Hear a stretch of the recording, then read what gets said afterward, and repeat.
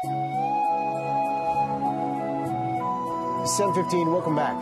Friday edition of BT, and this will be a weekend of reflection given the fact that it is the one year anniversary of the devastating Humboldt Broncos bus crash. And two moms joining us on the couch, two hockey moms were a part of the inaugural Jersey Day to support the families that were impacted by this crash. Uh, Barb and Jen, thank you both for being here.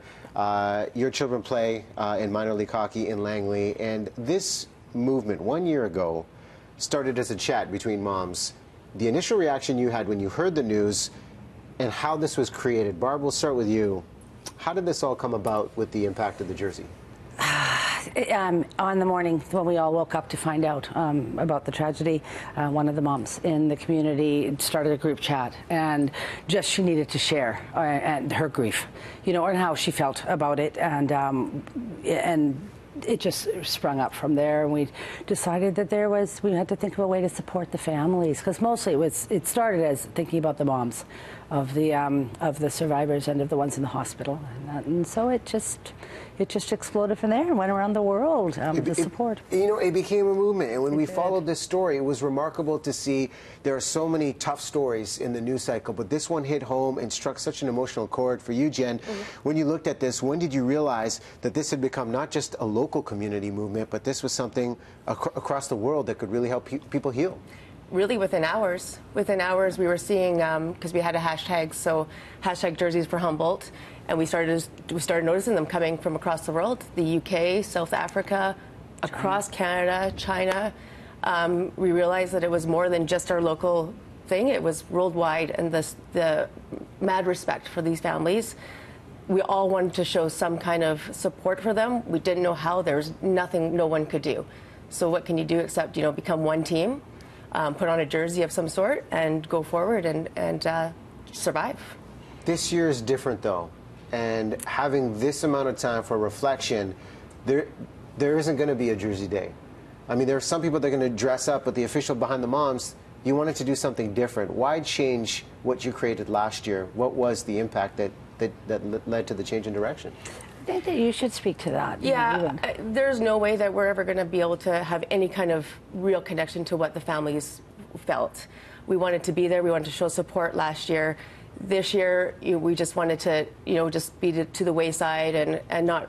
We didn't. We weren't really expecting a Jersey Day to, to happen. Some schools in Langley are doing it, which is amazing. The kids want to be involved. The, the kids still understand that this was a huge tragedy. We've all been affected one way or another, whether or not it is to appreciate life one game at a time, one day at a time. Um, you know, and seeing these families and survivors going through what they've done over the last year. The Ryan continuing to play hockey, Logan's family graciously donating his organs, and then creating the Green Day, uh, Green Shirt Day on on Sunday um, that's what you know. If you're if you're listening, wear your green shirt, wear your jersey tomorrow. Support the Broncos. Wear a green shirt on Sunday. Um, let's uh, get the awareness on behalf of Logan for, for organ, organ, donation. And you know, I should correct myself that the moms wanted to, to, to, to do things differently because there are people that are still going to be wearing jerseys and the green shirts. But as moms, when something like this happens, what's the conversation you have with your own children of how this story impacts them, impacts you, of how you look at life? Barb.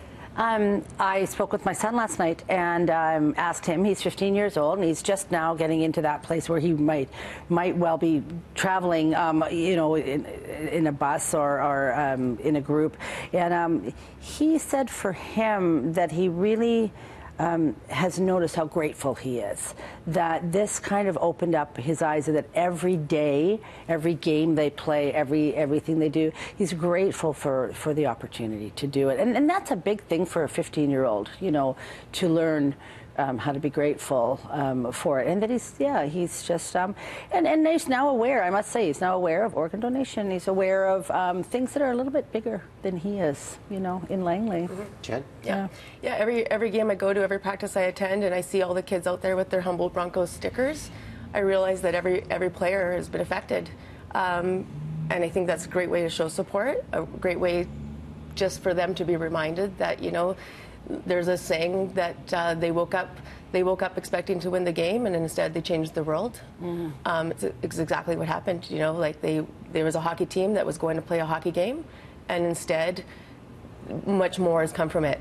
Uh, unfortunately, a lot of people lost their lives that day, but it has opened the eyes to many different facets and of, of things that can be addressed in this world. Well, there's many ways to heal. What you have done is simply remarkable. And Jen, I just want to end on this note. You don't do these types of things for recognition, but there was a tweet from the Humboldt Broncos. They recognized the efforts that the hockey moms made. What did they say? They said, We hear you, we see you, we love you, thank you, hockey moms." I, I broke down. It was, it was what, we, what we just wanted to know that they weren't alone, that we could, although never understand their pain, that um, we didn't want them to bear it all by themselves. Yeah, our collective, our collect, our collective grief, I Yeah. guess. Yeah. Well, the courage is inspirational on the part of you and the moms that supported Green Shirt Day, and the jerseys will be worn this weekend as we help them heal one year later. Uh, thank you both for being here. Thank you. Thank you for having us. All right, more of your news stories. We'll go back over to